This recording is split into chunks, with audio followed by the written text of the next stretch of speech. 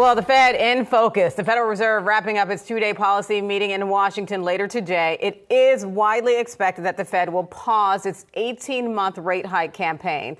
Wall Street is curious to see whether or not Powell's hawkish skip could put the Federal Reserve in a tougher spot long term. Yahoo Finance's Jennifer Schonberger has the details for us. Hi, Jen.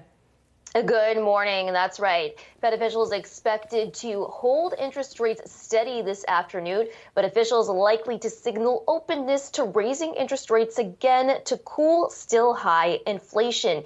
Inflation, while coming down, is only coming down slowly and remains well above the Fed's 2% target.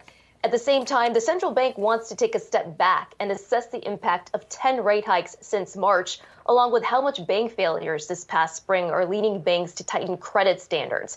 Several officials have pointed to a lag effect of as much of a year and a half for interest rate hikes before the impact is felt. Front and center this afternoon, the Fed's new interest rate projections. Officials estimated back in March that the peak level on their policy rate would top out in the current range of five to five and a quarter percent and be held at that level through this year.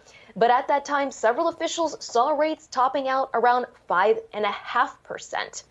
The statement is expected to keep the door open for more rate hikes by maintaining language that, quote, in determining the extent to which additional policy firming, I want to underscore additional policy firming may be appropriate. The committee will take into account the cumulative tightening of monetary policy, the lags with which monetary policy affects economic activity and inflation, and the economic and financial developments.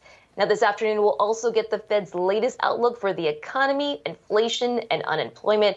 This decision coming down at 2 p.m., followed by Fed Chair Jay Powell's press conference at 2:30 Eastern.